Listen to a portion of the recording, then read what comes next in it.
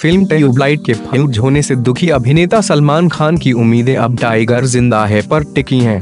इन पाँच फॉर्मूलों की मदद से ज़िंदा होगा टाइगर। फ़िल्म टाइगर ज़िंदा है का दूसरा पोस्टर आज रिलीज़ हो गया है। पोस्टर से यह तो साफ़ है कि फ़िल्म में सलमान ज़बरदस्त एक्शन करते नज़र आने वाले हैं। पोस्टर में कैटरीना कैफ और सलमान नज़र आ रहे हैं। दोनों का लुक बहुत रफ टफ लग रहा है।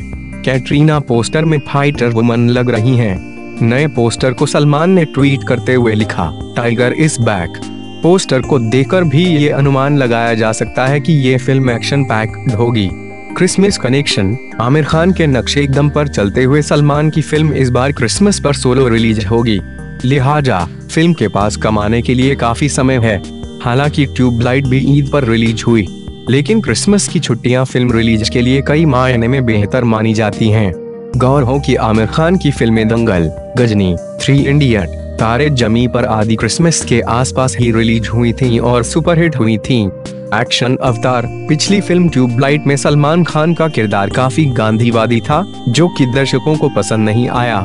नई फ़िल्म टाइगर ज़िंदा है में दबंग खान वापस अपने एक्शन अवतार में नज़र आएँगे, जिसमें फैंस उन्हें सबसे ज़्यादा पसंद करते हैं। फ़िल्म को लेकर सलमान के फैंस इसलिए भी ज़्यादा एक्साइटेड हैं क्योंकि उस फ़िल्म में उनके साथ कैटरीना कैफ नज़र आने वाली हैं। गौर हो कि सलमान कैट की मोहब्बत के चर्चे पहले से रहे हैं। सीक्वेल सुपरस्टार अभिनेता सलमान खान अकेले ऐसे स्टार हैं, जिनकी फ़िल्मों के जब भी सीक्वल बनते हैं और सुपरहिट होते हैं। चाहे वह दबंग हो या जुड़वा, एक था टाइगर की सीक्वेल टाइगर ज़िंदा है के बाद सलमान की वांटेड दो, किक दो के भी आने की चर्चाएँ हैं। हॉलीवुड फ़िल्मों के शौकीन फैंस को भी टाइगर ज़िंदा है। ज़रूर पसंद आएगी, क्योंकि फ़िल्म में ज़बरदस्त एक्शन सीन्स के लिए इसमें हॉलीवुड एक्शन डायरेक्टर्स को लाया गया है।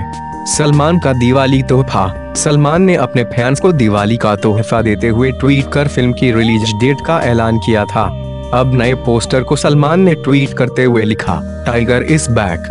बता दें कि सलमान और कैटरीना ने कुछ ही दिनों पहले अबू धाबी में इस फ़िल्म की शूटिंग खत्म की। फ़िल्म टाइगर ज़िंदा है 2012 में रिलीज़ हुई फ़िल्म एक था टाइगर का सीक्वल है।